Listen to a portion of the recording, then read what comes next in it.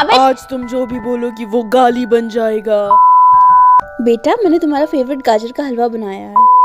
क्या बोला तूने? बदतमीज कहीं की तेरी पॉकेट मनी बंद?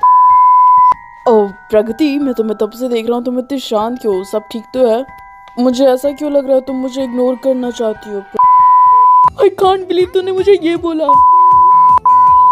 प्रगति वर्मा कौन है? प्रिंसिपल सर बुला रहे हैं।